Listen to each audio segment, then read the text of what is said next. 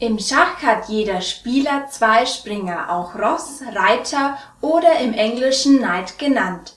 Im Italienischen trägt die Figur den Namen Cavallo, im Französischen Cavalier. Der Springer zählt wie der Läufer zu den Leichtfiguren des Königspaars, im Wert entspricht der Springer in etwa drei Bauern. Der Springer kann von seinem Ausgangsfeld zwei Felder geradeaus und dann ein Feld rechts oder links auf sein Zielfeld springen. Dabei kann die Figur sowohl vorwärts, rückwärts als auch seitwärts ziehen. Die Besonderheit liegt darin, dass der Springer sowohl eigene als auch gegnerische Figuren überspringen kann. Obwohl die Laufrichtung des Springers ungewöhnlich ist, hat sich die Figur im Laufe der Zeit kaum verändert.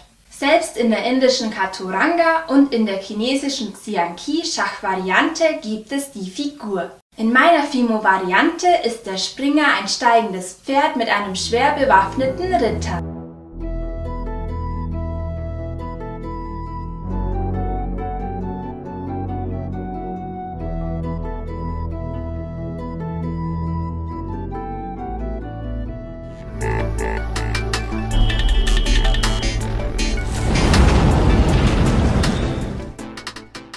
Bei meiner Schachfigur beginne ich zuerst mit dem Sockel. Dafür nehme ich mir meine Mold und etwas Reste-Fimo. Zuerst gebe ich etwas Kreide in meine Mold, dann bepinsle ich meine Mold mit der Kreide. Anschließend drücke ich mein Reste-Fimo in die Mold. Mit dem Messer schneide ich nun das überschüssige Fimo ab. Ich entnehme nun den Sockel meiner Mold. Mein Sockel sieht jetzt so aus. Meinen Sockel packe ich nun mit der Fimo-Farbe Rot ein. Mein Fimo Rot rolle ich auf Stufe 1 der Pastamaschine aus. Ich lege meinen Sockel auf mein dick ausgerolltes Fimo Rot und schneide nun einmal rundherum um den Sockel. Mein Fimo Rot rolle ich auf Stufe 5 der Pastamaschine aus. Den restlichen Sockel packe ich mit meinem dünn ausgerollten Fimo Rot ein. Mein Sockel sieht jetzt so aus. Ich nehme die geriffelte Fläche meines Messers und gehe damit über das Fimo und gebe dem Ganzen eine Struktur. Ich nehme ein spitzes Dotting Tool und gebe meinem Sockel ein Mauermuster. Ich forme mir das Grundgerüst meines Pferdes. Dafür verwende ich ein langes Stück Wickeldraht. Mein Pferdchen sieht jetzt so aus. Als nächstes forme ich die Vorderfüße. Dafür nehme ich ein kurzes Stück Wickeldraht. Das Grundgerüst aus Draht für mein Pferdchen sieht jetzt so aus. Nun packe ich mein Pferdchen mit dünnen Alufolienstreifen ein.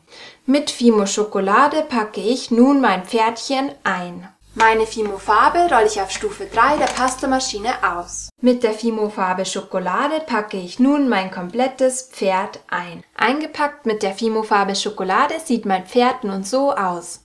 Um die Wangenpartie zu verstärken, setze ich auf dem Pferdekopf hinten einen kleinen Fimo-Tropfen auf.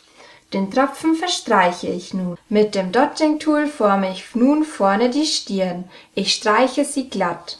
Mein Pferdchen sieht jetzt so aus. Für die Augen habe ich kleine Löcher eingedrückt. Die Löcher fülle ich jetzt mit kleinen Kugeln. Mein Pferd sieht jetzt so aus. Ich nehme nun einen dünnen Fimo-Streifen und setze diesen vorne über die Nüstern. Den Streifen verstreiche ich nun.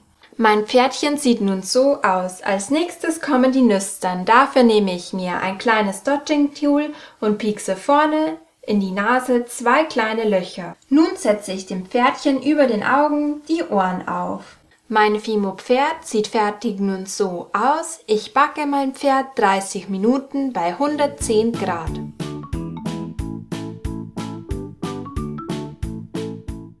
Mein Pferd sieht jetzt so aus. Weiter geht es nun mit der Rüstung. Dafür verwende ich die Fimo-Farbe Schwarz. Mein Fimo Schwarz rolle ich auf Stufe 5 der Pastamaschine aus.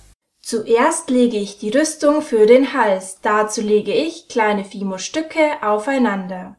Um die Rüstung am Kopf abzuschließen, habe ich auch vorne über die Augen ein Stück Fimo Schwarz gelegt. Als nächstes lege ich nun die Rüstung, die lege ich vorne über die Vorderfüße und drücke sie am Pferd an. Auch hinten über die Hinterfüße lege ich ein Stück schwarzes Fimo, ebenfalls als Rüstung. Oben in die Lücke zwischen vorderer und hinterer Rüstung bringe ich den Sattel an. Dazu lege ich ein kleines Stück mittig auf. Anschließend ziehe ich ein dünnes Fimo-Band unter dem Bauch des Pferdes hindurch. Dies ist das Sattelgurt. Um den Sattel abzugrenzen, lege ich vorne auf den Sattel ein dünnes Fimoband auf. Auf die Rückseite lege ich ein dickeres Band. Komplett eingepackt mit Rüstung und Sattel sieht mein Pferd nun so aus. Ich nehme nun einen Pinsel mit Silberpulver und bepinsle meine Rüstung. Den Sattel spare ich aus. Mein Pferdchen sieht jetzt so aus. Nun nehme ich das Goldpulver und bepinsle den Sattel. Anschließend backe ich mein Pferd 30 Minuten bei 110 Grad.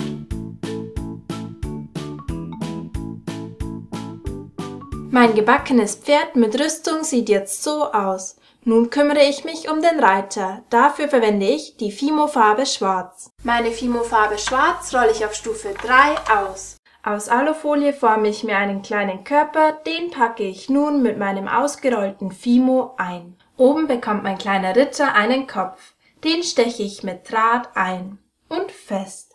Als nächstes kommen die Arme. Dafür nehme ich eine dünne Fimo-Wurst und setze diese an den Seiten an. Die Handschuhe vorne trenne ich mit einem dünnen Fimo-Band ab. Für die Füße nehme ich eine etwas größere Fimo-Wurst. Unten teile ich die untere Spitze ab. Das wird der Fuß. Anschließend forme ich das Ganze mit Knie zu einem Bein. Dann drücke ich mein Bein unten am Körper an. Meinen kleinen Reiter setze ich nun auf mein Pferd. Mein kleiner Ritter bekommt jetzt sein Schwert, dafür verwende ich die Fimo-Farbe Rot. Zuerst setze ich unten den Griff. Auf den Griff setze ich dann die lange spitze Klinge. Zum Schwert bekommt das Pferd außerdem eine Trense, dafür lege ich dünne Fimo-Schnüre bis zur Hand. Den überstehenden Rest meiner Zügel schneide ich dann mit dem Messer ab. Mein Pferdchen mit Ritter sieht jetzt so aus. Nun gebe ich den Armen und den Füßen eine Struktur. Dafür nehme ich wieder die geriffelte Fläche meines Messers. Nun setze ich wieder kleine Highlights. Mit dem Goldpulver bestreiche ich die Armstulpen und die Züge und die Trense. Mit dem Silberpulver bestreiche ich nun die Arme und die Füße. Mein Pferd mit Ritter sieht jetzt so aus. Nun kommt mein Motiv in den Backofen. 30 Minuten bei 110 Grad.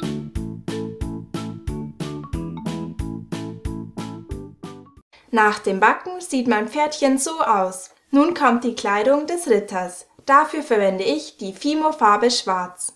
Mein Fimo Schwarz rolle ich auf Stufe 3 der Pastamaschine aus. Ich nehme mir ein großes Stück meines ausgerollten Fimos und lege dies dem Ritter über den Rücken. Ich packe nun den Ritter mit meinem Fimo schwarz ein. Nun geht es weiter mit dem Helm, dafür nehme ich mir ein dünnes Fimo-Stück und lege es einmal rundherum um den Helm und packe den ganzen Kopf damit ein.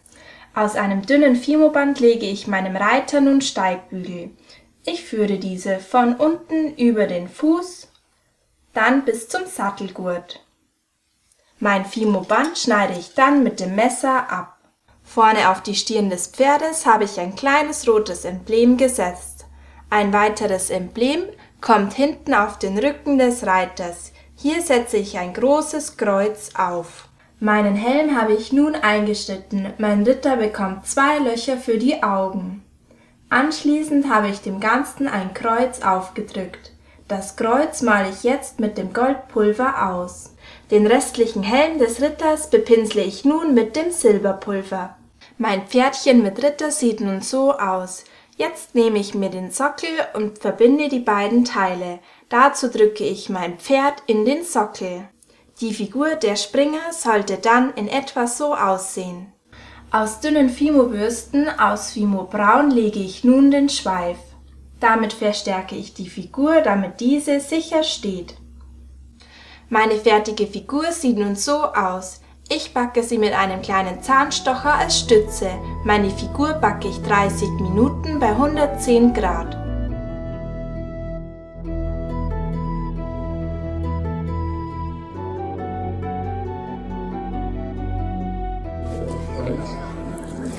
Du hast mein Video bis zum Schluss angeschaut. Modellieren mit Fimo ist genauso entspannend wie ein Ausflug im Frühling. Möchtest du gerne mehr zum Thema wissen? Dann schau dich um im Kanal oder lass mir ein Abo da. Bis zum nächsten Mal. Tschüss!